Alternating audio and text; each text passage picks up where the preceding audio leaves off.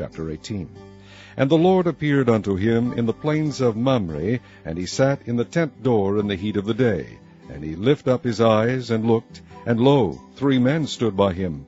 And when he saw them, he ran to meet them from the tent door, and bowed himself toward the ground, and said, My Lord, if now I have found favor in thy sight, pass not away, I pray thee, from thy servant. Let a little water, I pray you, be fetched, and wash your feet, and rest yourselves under the tree. And I will fetch a morsel of bread, and comfort ye your hearts. After that ye shall pass on, for therefore are ye come to your servant. And they said, So do as thou hast said. And Abraham hastened into the tent unto Sarah, and said, Make ready quickly three measures of fine meal, knead it, and make cakes upon the hearth. And Abraham ran unto the herd, and fetched a calf tender and good, and gave it unto a young man. And he hasted to dress it. And he took butter and milk, and the calf which he had dressed, and set it before them. And he stood by them under the tree, and they did eat. And they said unto him, Where is Sarah thy wife? And he said, Behold, in the tent. And he said, I will certainly return unto thee according to the time of life, and lo, Sarah thy wife shall have a son. And Sarah heard it in the tent door which was behind him. Now Abraham and Sarah were old and well stricken in age, and it ceased to be with Sarah after the manner of women. Therefore Sarah laughed within herself, saying, After I am waxed old shall I have pleasure, my Lord being old also? And the Lord said unto Abraham, Wherefore did Sarah laugh, saying, Shall I of a surety bear a child which am old? Is anything too hard for the Lord? At the time appointed I will return unto thee according to the time of life, and Sarah shall have a son. Then Sarah denied, saying, I laughed not, for she was afraid. And he said, Nay, but thou didst laugh. And the men rose up from thence, and looked toward Sodom. And Abraham went with them to bring them on the way. And the Lord said, Shall I hide from Abraham that thing which I do? Seeing that Abraham shall surely become a great and mighty nation, and all the nations of the earth shall be blessed in him. For I know him, that he will command his children and his household after him, and they shall keep the way of the Lord, to do justice and judgment, that the Lord may bring upon Abraham that which he hath spoken of him. And the Lord said, Because the cry of Sodom and Gomorrah is great, because their sin is very grievous, I will go down now, and see whether they have done altogether according to the cry of it which is come unto me, and if not, I will know. And the men turned their faces from thence, and went toward Sodom, but Abraham stood yet before the Lord. And Abraham drew near, and said, Wilt thou also destroy the righteous with the wicked? Peradventure there be fifty righteous within the city, wilt thou also destroy, and not spare the place for the fifty righteous that are therein? that be far from thee to do after this manner, to slay the righteous with the wicked, and that the righteous should be as the wicked that be far from thee. Shall not the judge of all the earth do right?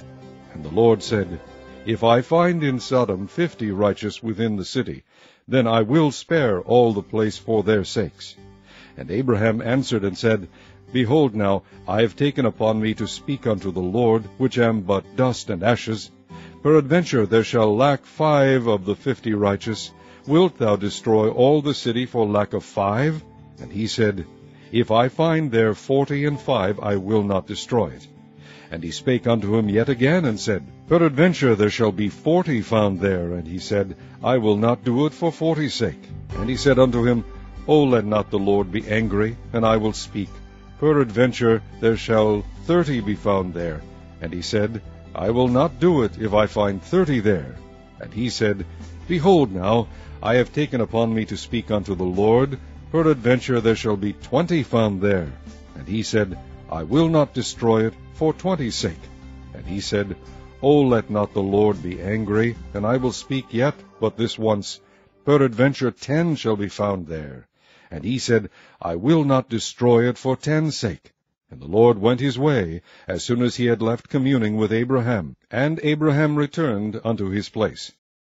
Chapter 19 And there came two angels to Sodom at even, and Lot sat in the gate of Sodom. And Lot, seeing them, rose up to meet them. And he bowed himself with his face toward the ground, and he said, Behold now, my lords, turn in, I pray you, into your servant's house, and tarry all night, and wash your feet, and ye shall rise up early, and go on your ways.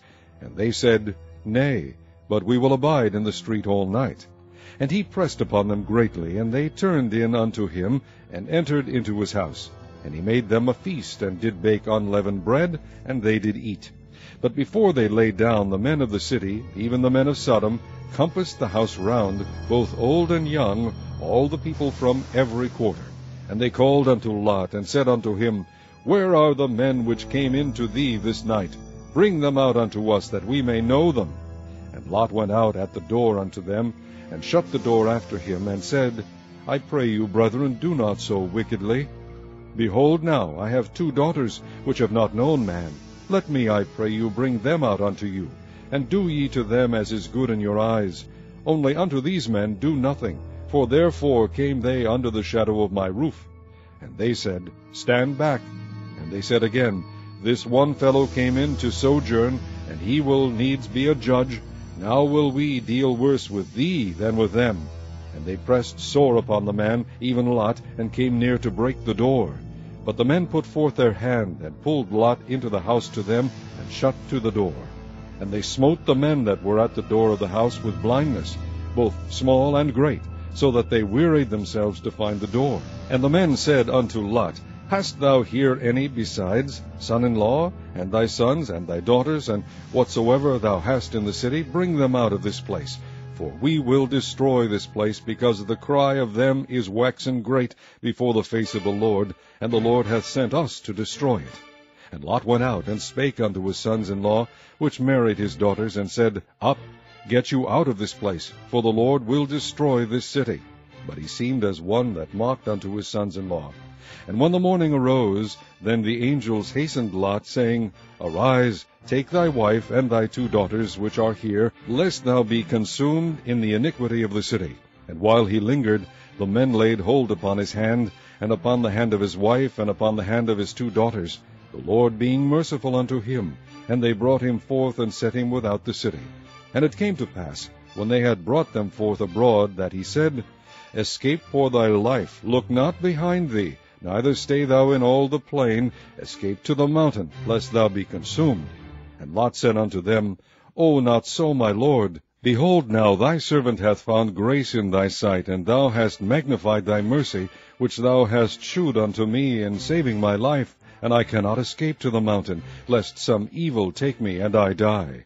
Behold now, this city is near to flee unto, and it is a little one. O let me escape thither. Is it not a little one? And my soul shall live. And he said unto him, See, I have accepted thee concerning this thing also, that I will not overthrow this city, for the which thou hast spoken. Haste thee, escape thither, for I cannot do anything till thou be come thither. Therefore the name of the city was called Zoar. The sun was risen upon the earth when Lot entered into Zoar. Then the Lord rained upon Sodom and upon Gomorrah brimstone and fire from the Lord out of heaven, and he overthrew those cities, and all the plain, and all the inhabitants of the cities, and that which grew upon the ground.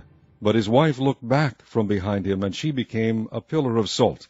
And Abraham got up early in the morning to the place where he stood before the Lord, and he looked toward Sodom and Gomorrah, and toward all the land of the plain, and beheld, and lo, the smoke of the country went up as the smoke of a furnace. And it came to pass, when God destroyed the cities of the plain, that God remembered Abraham, and sent Lot out of the midst of the overthrow, when he overthrew the cities in the which Lot dwelt. And Lot went up out of Zoar, and dwelt in the mountain, and his two daughters with him, for he feared to dwell in Zoar, and he dwelt in a cave, he and his two daughters. And the firstborn said unto the younger, Our father is old, and there is not a man in the earth to come in unto us after the manner of all the earth. Come, let us make our father drink wine, and we will lie with him, that we may preserve seed of our father. And they made their father drink wine that night. And the firstborn went in and lay with her father, and he perceived not when she lay down, nor when she arose. And it came to pass on the morrow, that the firstborn said unto the younger, Behold, I lay yesternight with my father, let us make him drink wine this night also, and go thou in, and lie with him, that we may preserve seed of our father. And they made their father drink wine that night also. And the younger arose and lay with him, and he perceived not when she lay down, nor when she arose. Thus were both the daughters of Lot with child by their father.